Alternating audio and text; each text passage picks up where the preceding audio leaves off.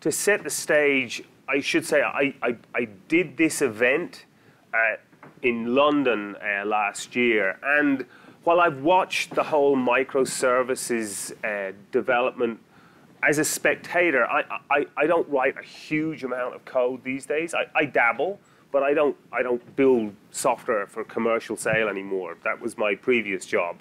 Um, so it, it, it was a little bit of an eye opener for me to, to look at microservices through the lens of actual practitioners last year because it, in my naive view of the world, it was like basically web services done better. Right now, it, it turns out um, microservices is actually a sea change. it's a, it's a catch-all for a radical transformation in the way that we develop software and systems and deliver them and maintain them. And that for me was the, was the moment of truth on the, on, on the Microservices Day talk last year. I was chatting to Jason Mello earlier on about how ADP is transforming their industry, and that's a, uh, an organization with 9,000 programmers worldwide. So, you know, as he said, he has his team, and I, I was thinking four or five people, and he said, no, no, 300 people. And I said, that's not a team, that's a group. So um, I, I, think you're going to see throughout the day that that transformation is continuing. Microservices is here to stay, but think of microservices less as a technology and more as a, as a process transformation in the way that we deliver software. Um, I'm going to be your MC all day. Uh, sorry about that. Um, we're going to kick off with Paul Stanley. I will apologize for Richard Rodger. Uh, he was supposed to be here today, but he has this thing called a business that he has to run, uh, and he was unavoidably detained with that business back in Dublin. So, without further ado, let me introduce Paul Stanley, who's going to talk about the good, the bad, and the ugly of microservices. Thank you, Paul. John, excellent. Yeah, so I, I work with nearForm. Um, I have the the uh, the privilege of, of, of, being part of some really really cool projects over the last few years. Uh, we're probably the biggest players in Node.js from a consultancy perspective at the moment. Um, we put our first kind of production Node.js system using microservices uh, live in about February 2012. So we got about five years of, of kind of this kind of approach. Uh, back then we were using um, modular approach, which we now call microservice. We didn't call it microservices back then. Um, and, and we've managed to put together some fantastic projects for a whole host of companies. Wonderful. Um, and, it, it's been great being a part of that team. Uh, essentially, when we started, we could see Node and, and what it was going to do, and we could see the, the big changes. And for us, it came down to one simple thing. Everything in the world is getting more complicated. It's getting harder to do and achieve. Things that were easy a few years ago are, are difficult. Um, and that's just Moore's law kicking in in reality that we deal with every day. So the systems that we developed previously to build software and get it live were just slowing down. And things were becoming big, ugly monoliths that tended to be very, very brittle. Every time you made a change, everything broke. Everything was slowing down. And there was a huge appetite to go faster, you know. And we saw some of the early people like uh, PayPal and Netflix adopt these kind of changes where you have like the technologies like Node.js and Angular and more recently React. You've got the, the architecture approaches like microservices. You've got the processes. You've got the continuous deployment. And that was enabling them to move code from developer's laptop into the production environment much more quickly. And that was the whole, that was the point of it, right? Um, uh, and, and this is, this presentation is going to be very heavy on the word why, because understanding why is the key to everything. And, and it's, it's one of the things that, that we see. We've had an awful lot of projects go really, really well, and we've had an awful lot of projects go really, really badly, because we try things and we make mistakes. And I want to share some of our things that went well and things that went badly, and just explain the why, right? Because if you don't understand the why, you can't really apply it to your own situation. So, uh, really simple, uh, why microservices at all, right?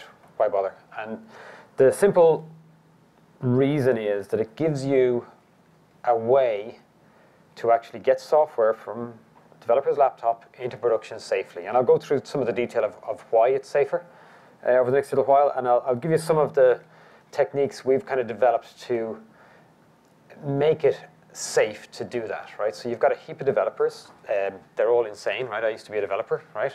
And somehow you're going to let them write code, and that code magically goes through a pipeline and appears on, on the, the, the production system, and everything is going to be fine, right?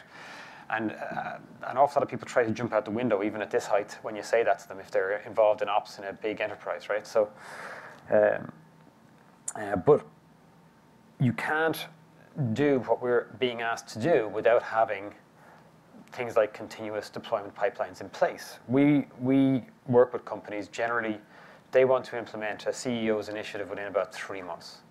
They want to start up a new product line, that MVP has to be live in 10, 12 weeks. Um, to kind of converge and to deliver successfully on those kind of timescales within the complex systems we do, we have to use these, these approaches. And, and we've had uh, we've, we've had some fantastic wins. You know, win is where you actually manage to deliver everything on time and the customer is really happy. That doesn't mean delivering a feature set. That means delivering a system that meets the business need, which is very, very different. Um, we've seen uh, our good friend Melvin Conway in action. Um, you'll hear about that later on. It's, it's the idea that uh, when you architect and design a system, it's going to mirror the, the communication structure in your organization, right? But what we've actually seen is that it's not always just that way. That there's actually these two things are interrelated. And in some cases, we found that by changing the architecture, we've actually managed to force a change in the way that the organization works. And a couple of our customers actually deliver projects more successfully because they had to change the way they worked to meet meet their uh, their deadlines. And the architecture kind of propagated that change through the organization. It was a kind of a forcing function. Um, we also find as well that an awful lot of systems were built, you know, in big monolithic systems, right? So it does something, right?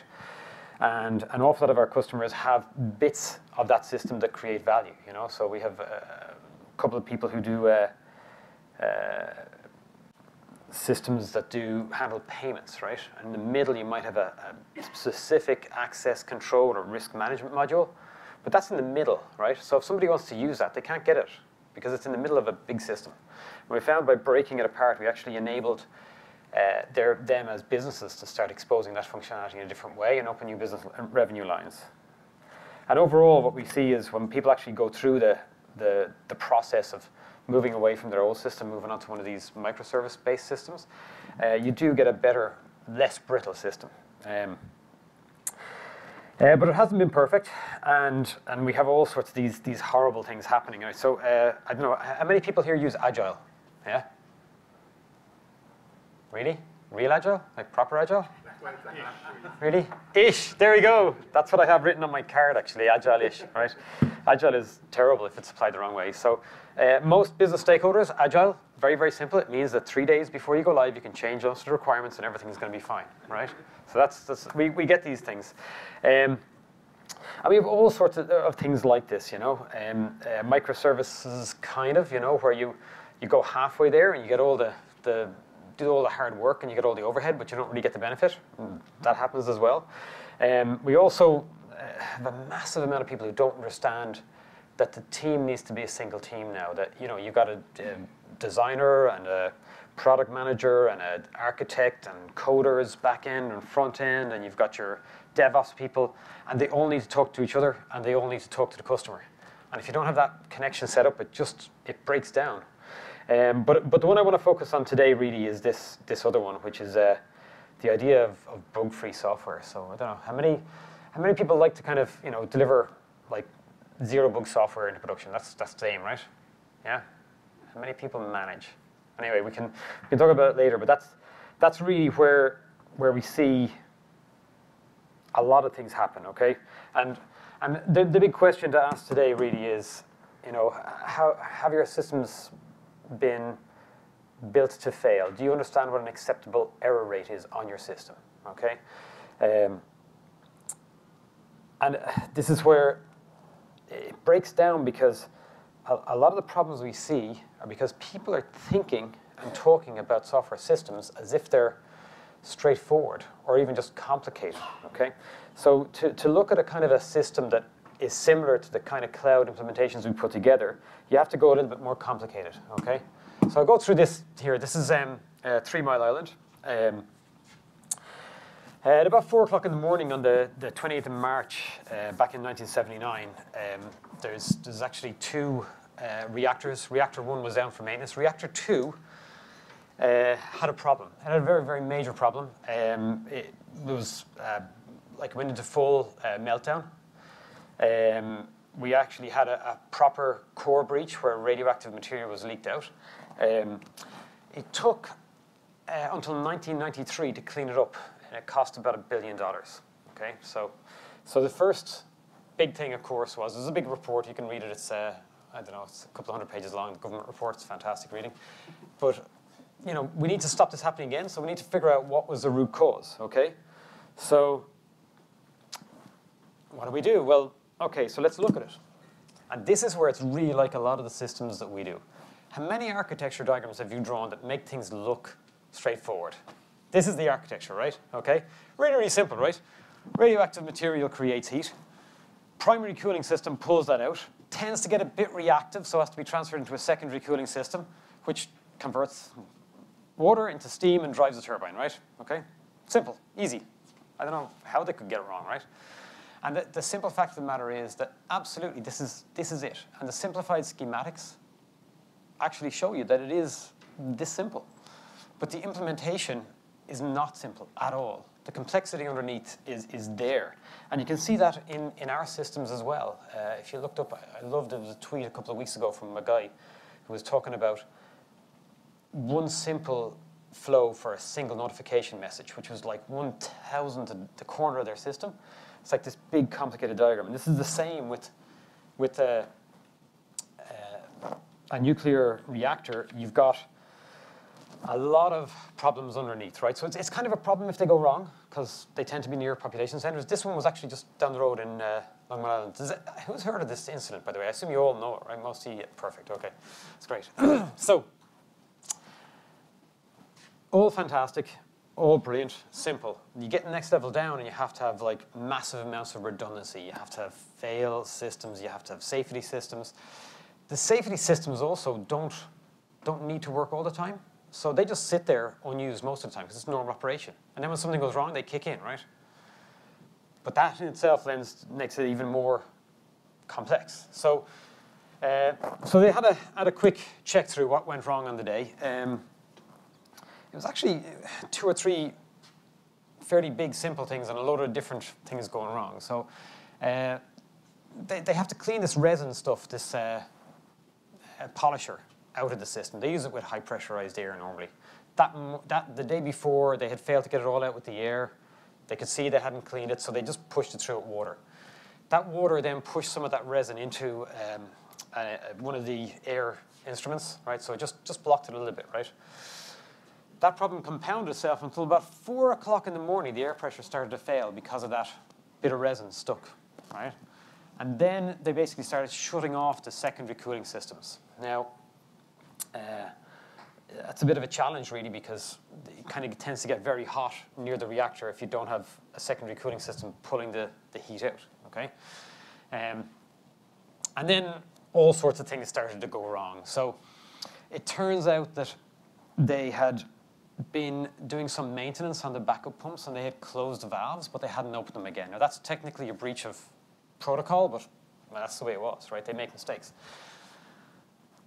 So the water stopped, the secondary system stopped, the backup systems failed, and then you start having heat exchange with the, the primary coolant stops. And I think it's, it's about seven seconds into this incident where things start to get fairly dangerous. So what happens then is you get control rods dropping into your reactor core. They absorb kind of the reaction going on in there and they shut everything down. That's the, that's the idea. Um, the challenge, and, and, they do drop, and that, that was great. Uh, but the problem is the heat was still building up, right? Heat builds up, and then the pressure valve releases, right? The pressure valve at the top, which is what you want, brilliant. But when it finishes letting all this pressure out, it didn't close again, right? And the, the indicator, so the guys in the, in the control room are looking at it and the, the indicator goes green again. Now, uh, as, as a, an engineer, these indicators are based off of whether the solenoid is active or not. So there's a little uh, magnet, electromagnet that just pulls the valve shut. Yeah, there was power to the solenoid, but the actual valve itself was stuck open. So the green on the instrument light didn't actually indicate that the valve was shut. So you've got this massive problem. Um, and now what you, have got then is you've got essentially, it's what they call a, a loss of coolant accident. It's, it's how they describe these incidents when it, something goes into meltdown, right? That's 13 seconds, right? So it's, it's not really much time for a human to intervene or, or stop things going wrong, right? Uh, anyway, all sorts of, and then all sorts of things start, continue to go wrong. So, um, the, the, um, uh, I guess the, the incident starts about 4 a.m. By about 8 a.m., they currently reckon that they'd actually melted down half of the uranium in the whole reactor. Okay, they had a poor reactor breach. That valve was actually pumping uh, radioactive active isotope out. So this is where it's, it's kind of, it's nasty, right? When they actually analyzed exactly how and why it went wrong, there's all sorts of little root causes, but the basic cause is it's such a complex system with so many inter interdependencies that you can't keep it 100% safe. And it's just, it's going to fail every now and then, and it failed that morning. They were able to zero in a couple of things, right? For instance, the, the, the big breach around the, um, the backup pumps not being actually, the valves being shut, right? So they brought in special protocols to double check that with checklists and the whole lot, which is exactly what we do in software, right? If things were failing in one part of the system. And then they checked four years later, and the error rate, how often those pumps were, those valves were closed when they should be open, was exactly the same. So it's not really, when you've got a complex system, you have to deal with errors. Okay? So the question is, how do we deal with it? How do we manage the risk? How do we get, in our case, software into production safely? Okay? So uh, this is a probability of failure. A little bit of maths now for a short while. So what you have basically is you've got two components here. Um, you would imagine that for any particular microservice you're putting into production, a 1% failure rate would be reasonably good, right? Okay, it sounds quite good. And then if you put two microservices, two components live in a system, and this, this is actually the same for components in a monolith as well, by the way, so it's the same kind of maths will apply you're, you're suddenly up kind of 1 in 50 might fail, okay? And this is where it gets really, really nasty. Because as you increase the number of components, the probability starts to rise in a certain way. So I don't know, how many people here have a system with less than 100 components? Less than 100 components in your entire system? Huh? Um, yeah, yeah. How many? Who runs off microservices? How many microservices would you have? A dozen. Brilliant. Okay. So you're somewhere about here. So about kind of 15% of the time. Um, it depends. If you, if you go as far as, say, uh, the Gilt Groupe have, they have, what, 2,500 now? I don't know, anyway. But basically, if you, if you have this many components, and if you've got only that many microservices, what you'll find is inside those microservices are actually, uh, there's a number of components that are dependent on each other. You suddenly get to the point where you're more likely to have a failure when you deploy. And that's, that's a lot of the reasons where people who deploy in cycles, and very, very rarely, regularly have massive problems. Okay? The maths are working against you. And software is not like building nuclear reactors, right? So one of the things you can have in nuclear reactors is you can make multiple valves. If one of them is stuck, another one will go. Everything is good. In software, defects get propagated. Redundancy doesn't really help you at all, okay? So what we've gone from was a system where uh, way back in the day, if you go back far enough, systems were really, really simple. So you could do a nice traditional release and you could effectively get to a zero bug count and you could deploy and everything would be fine. And now our systems look a bit like this. This is a schematic of uh, uh, Three Mile Island Reactor 2, the simplified system. Again, once you're changing a lot of components, it's going to go wrong. You're going to have failures. So how do you avoid that? Well, what we like to do is to look at different systems. So um, the the analogies we use actually really, really causes problems, right? When you talk about microservices, I hear people talking a lot of times about building a building, you know, and each each uh, service is a building block, and microservices we can wrap them in cellophane so we can pull one out and put another one back in, and the building still doesn't fall down, and it's all good, you know, or, or they're like Lego building blocks and components. And the, the thing about Lego and, and building with building blocks is that you've got a lovely small subset of physics that governs that, okay? If your block is strong enough to hold itself and a couple of blocks over it, your building is not going to fall down. Great. Software systems are actually very, very uh, complex in the way that they're interdependent, okay? So they're much more like a living system. And living systems actually don't try and do uh, error-free deployments. This is uh, mitosis, it's cell division, right? Okay, it, it fails all the time, everywhere. Uh, we call it mutation, make really cool films about it. You know, it's, there's an acceptable error rate, there has to be. You, it can't be gotten right, okay? It also has a fantastic mechanism for sorting out the problems, right? But we can't really rely on evolution. We don't have that kind of time scale when you're deploying software, so. So what we do is kind of it is deploy often, deploy little, little bits. So what you want to move is you want to move from where you're deploying multiple components and your, your probability starts working against you, where you're actually literally getting one microservice, that change live, okay? And you know, this is, this is um, you know, if you look back to uh, Netflix in 2008, they had like four days of an outage because they couldn't, their systems were too tangled, you know? We had a, a, bank in, in Ireland that went down for a week, which was just incredibly bad. And this is prompting a lot of those organizations to move to microservices exactly for this reason, because you can keep deployments small, keep, keep them safe. Um, but we regularly find actually that this word safe is a very objective thing. So what we generally have in the organizations is we have somebody who's been around a very, very long time, who kind of has to figure out whether it's safe to deploy or not. Um, this is a, a poker hand. It's a pretty good poker hand. It's not the best, okay? You don't have to have a royal flush to bet. It has to be good enough, right? Okay? So, mm, would you bet on a four fives? I don't know. Normally, yeah. So, how good does the software release have to be?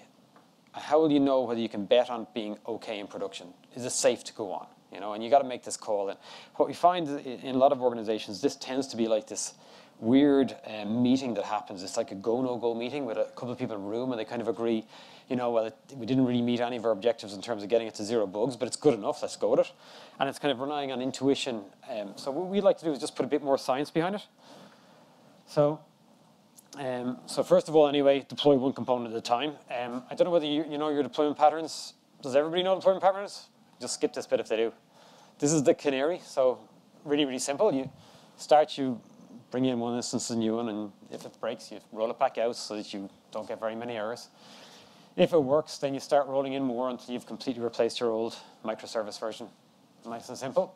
Um, I love the bake pattern. It's, it's again, it makes it safer. It's, it's uh, it's where you, you deploy your, your microservice and you route live traffic to it and you measure the outcomes. And if the outcomes are the same, then you can actually start moving more and more onto your version 2.0 of this, of, the, of this instance.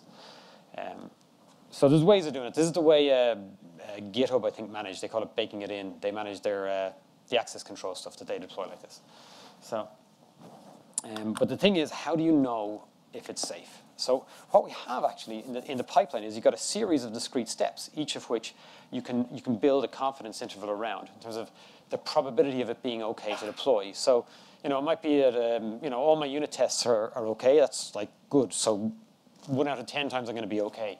You know, the basic system tests run, or the pre-commit hooks or whatever it is, maybe one third of the time I'm going to be okay. A full integration test runs great, 75%. You know, and you slowly get more and more confident that the software that you, is going through your deployment pipeline is actually fit for purpose and is not going to destroy the world once it gets into the live, live environment. So using this as a risk measurement device is actually a very, very, we've found it to be fairly effective. So um, this is Bayes' theorem. It's horrible maths, right? Ridiculously complicated, completely unnecessary, okay? But your brain runs on probability theorems all the time. That's why people who supposedly aren't good at maths are really, really good card players. They're working out massive probability problems all the time, right?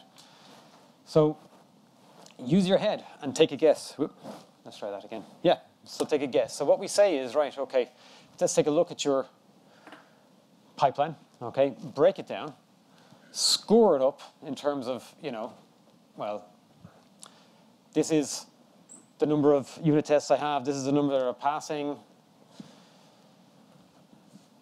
You normalize it, and then you can actually weight the different parts of your pipeline because some of them are more meaningful than others, right? I mean, a unit test isn't particularly good, a full system test or a load test shows you that you're in pretty good shape maybe.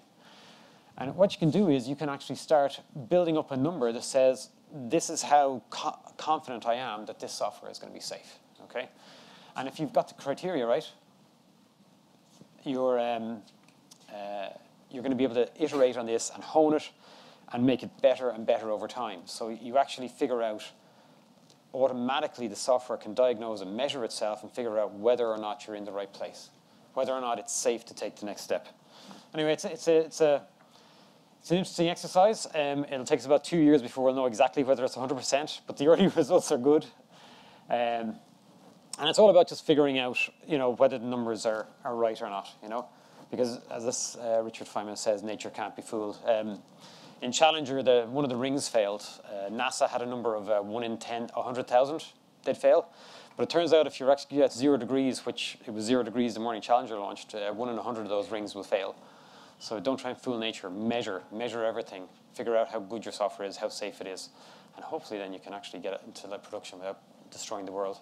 Uh, and this is because I promised Richard I'd plug his book. Uh, so this is his, his new book, The Tao Microservices. Hopefully most of you will uh, get a look at it over the next little while. And uh, if you want to get me, I'm Paul at Nearform. Okay. Thank you very much for your time. Thanks, Paul. And of course, it is Paul Savage, not Paul Stanley. Paul Stanley is a guy I was in college with about 20 years ago. I do have no idea where that name popped in. Um, I, I, love that idea of statistical analysis. Uh, I was terrible at statistics in college, and I, it's the one subject I regret not really grasping. I failed statistics three times. Um, we're really bad at statistics. In fact, um, uh, Daniel Kahneman and Amos Tversky wrote a book, Daniel wrote a book on it and won a Nobel Prize on how bad we are at statistics called Thinking Fast and Slow and about all the fallacies we create for ourselves. And I recommend everybody in this room reads that book.